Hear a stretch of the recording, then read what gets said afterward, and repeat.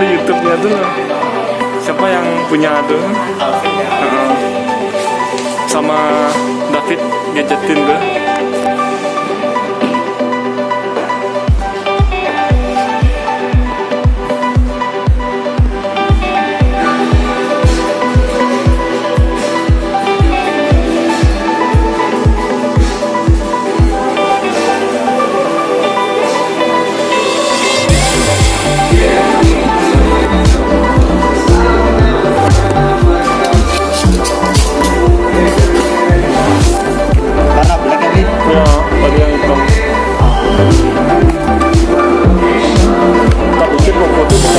Oh.